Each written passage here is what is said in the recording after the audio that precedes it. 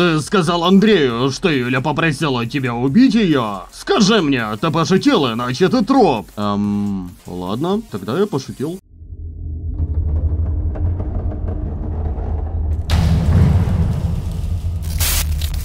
Всем привет! Вы на канале Дюфплей, и мы продолжаем проходить пацанское лето. Не забываем пошляпать мой лайк, написать комментарий, минимум из пяти хороших слов для поддержки этого видео. А еще можно платно подписаться на канал или задонатить по ссылкам в описании. Погнали! Есть что сказать в свое оправдание, Андрей? Он молча стоял и смотрел на него, не зная, что ответить. А теперь мы идем с тобой в катакомбы и решим наши разногласия. Полагаю, мне все равно пизда? Не, я не буду тебя ни убивать, ни калечить. Я просто хочу заслужить твое доверие. Эм, и каким же образом? Сейчас я тебе все покажу. Примерно через полчаса они оказались в бомбоубежище. Садись в кресло. Зачем? Просто садись. Андрей сел в кресло. Красный начал пристегивать его. А чё он так просто сдался? Эй, это так ты доверие хочешь заслужить? На самом деле, дело не в доверии, а в преданности. Он затянул лямки потуже. Не жестковато ли? Этим ты не вызовешь у меня чувство преданности. Согласен, этим не вызову. Он убедился, что Андрей не, смо не может пошевелиться. Но это не значит, что я не могу на тебя повлиять. Логика у тебя, у тебя пиздец, конечно. Что ты хочешь сделать? Отпусти его! Сейчас я сделаю его преданным. Вожатый отошел от него и положил пистолет на кровать. Он подошел к чайнику и убедился, что кипяченая вода в нем остыла. Так, остался финальный штрих. Он высунул из кармана пакетик с мифедроном. Андрей, увидев это, мгновенно заскрипел челюстью. «Ты зачем достал это? Убери!» «Ничего ты не понимаешь, Андрюха!»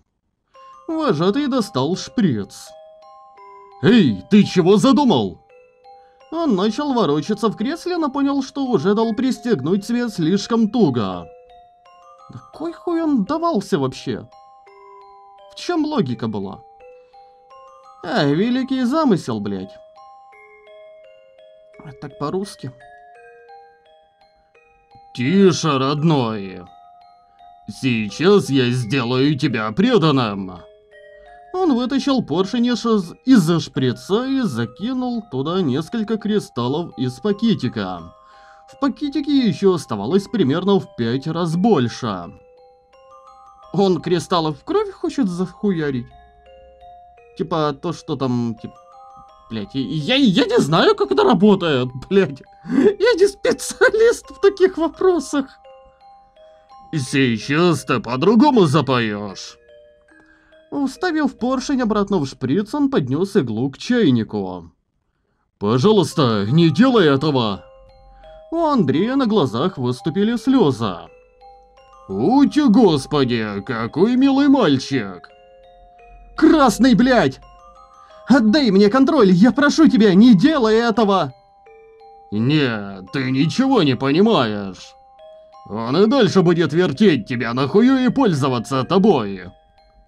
А после одной нехитрой манипуляции он будет верен как пес. Я проверил это дерьмо на Юля. Оно сильнее героина. Ну зачем? Ты ему жизнь сейчас сломаешь. Ладно, теперь понятно, как это работает. Надо разогреть, вскипятить кристаллы. И пускай, мне его ни капли не жали. Не надо, красный! Андрей едва слышно всхлипнул. «Надо, Андрюха, надо!» «Это не мое имя, меня звать иначе!» Красный удивленно взглянул на Андрея. То есть ты насчет имени напиздел? Я всем о нем... Я всем о нем наврал. О всем наврал. Какой ты предусмотрительный, но жаль, что это не играет никакой роли. Ведь для всех здесь ты Андрей. Я Григорий. Я прошу тебя остановиться, не делай этого. Красный набрал воду в шприц. Он взболтал его и начал смотреть, как кристаллы растворяются в воде. «Не надо, слышишь? Я только выздоровел от этой хуйни и не хочу обратно! Пожалуйста, перестань!» Внезапно Красный схватил его за лицо и заглянул в его заплаканные глаза. «Это ты меня послушай, торч ебучий! Ты уже влез в это! Даже если ты никогда и не кололся, то поверь, это стало бы вопросом времени в твоем мире!» Но так как ты попал в мой мир, еще и, сука, осмелился сделать это против моей воли. Он аккуратно начал вставлять иглу в вену на правой руке Андрея. То ты подвергнешься тому, чего так жаждал и боялся. Твоя лучшая фантазия и худший кошмар сейчас соединятся воедино.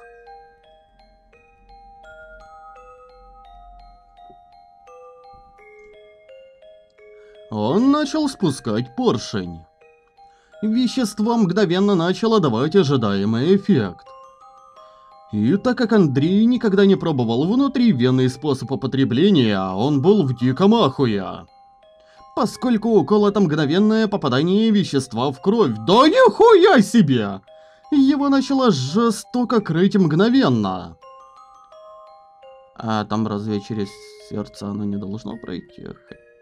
Хотя, блять, опять же, я не специалист в этом. Тьфу-тьфу-тьфу. Красный спустил поршень до конца. Челюсть Андрея ездила туда-сюда, а глаза не понимали, как им быть. Он чувствовал настолько сильную эйфорию, что даже и представить не мог, что такое реально.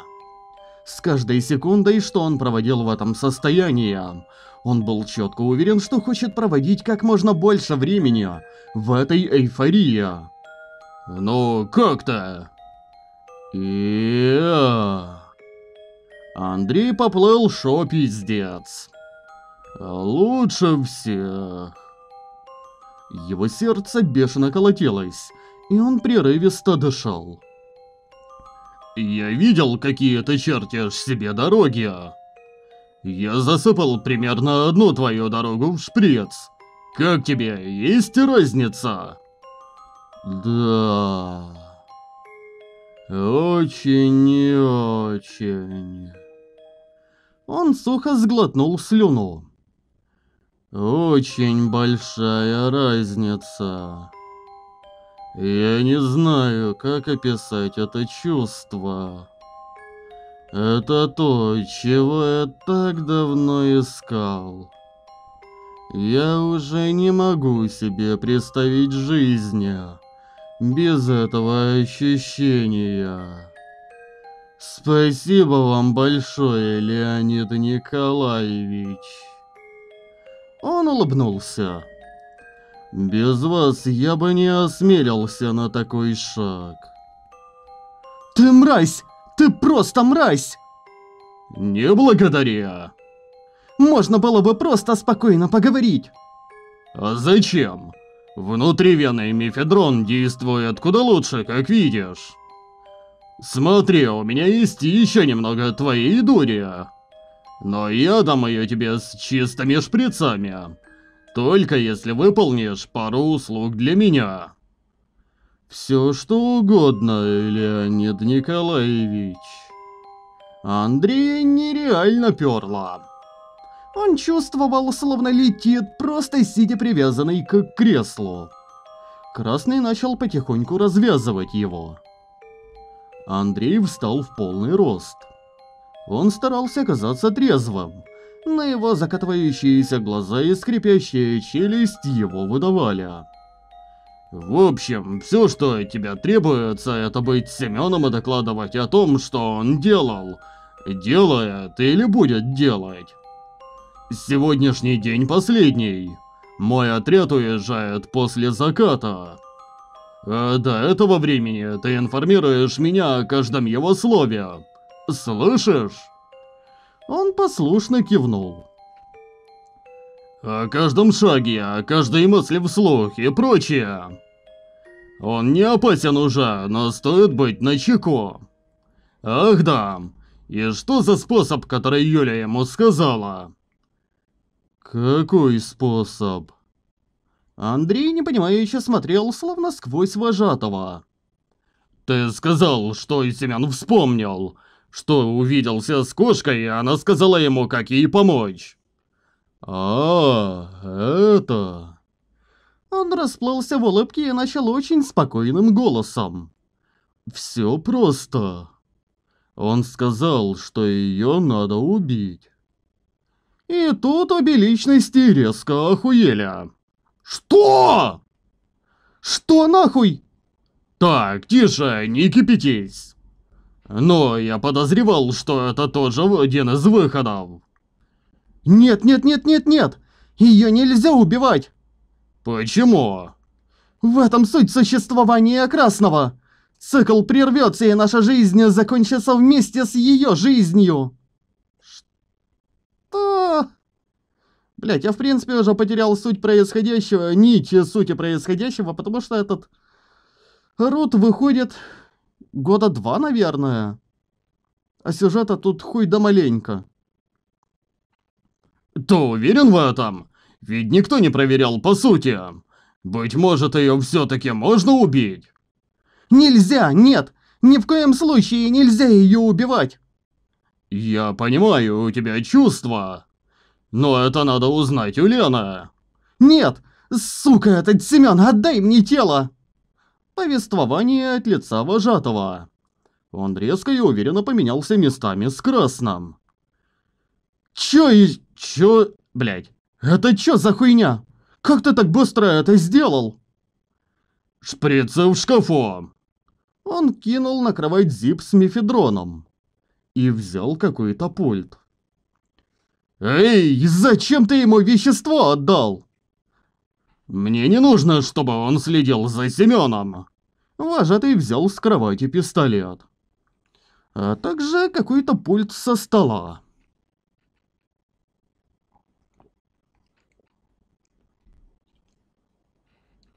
«Стой, мы не проверяли это! Блять, Леонид, не делай ничего сгоряча!» «Правда? А мне казалось, ты только так и делаешь!» Блять, а если нас сейчас вывернет нахуй наизнанку? Мне плевать. Запускаю протокол телепорт. Он нажал какую-то кнопку на пульте. Я оказался в подсобном помещении мастерской. Ебать, сработало? Вожатый уверенно пошел дальше. Ты сучонок! М? Семён повернулся к вожатому, который вышел из-за спины. «Ты сказал Андрею, что Юля попросила тебя убить её?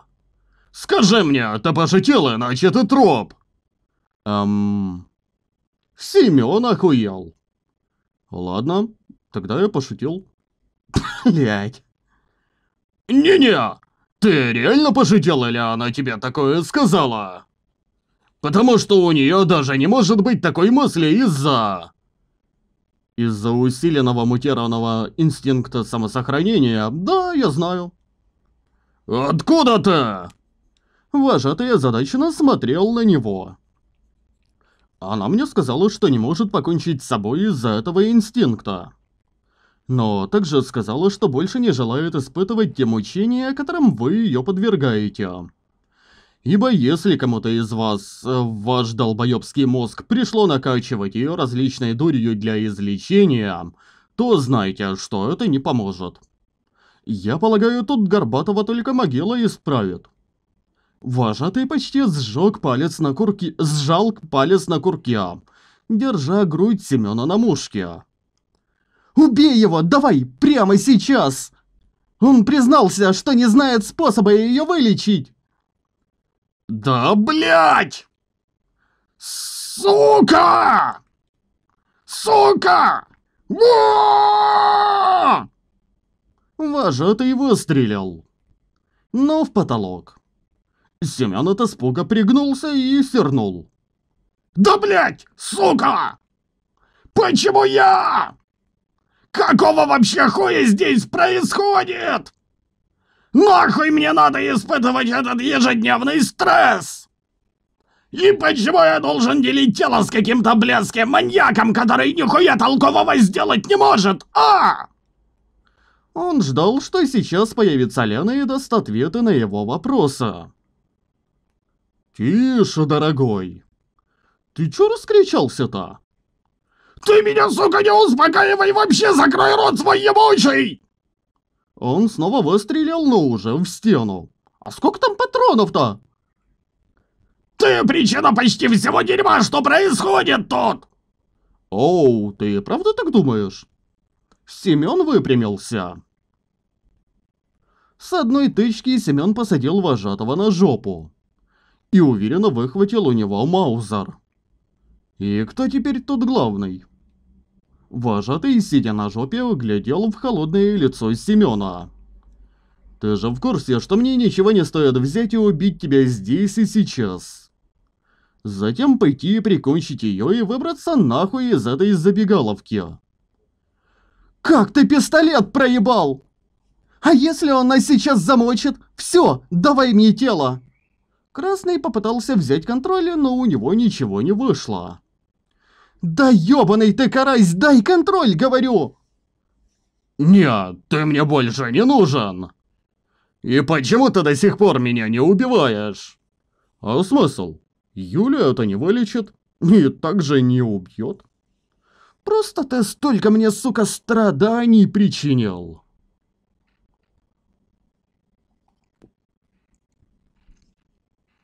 Что грохнуть тебя кажется действительно неплохим вариантом.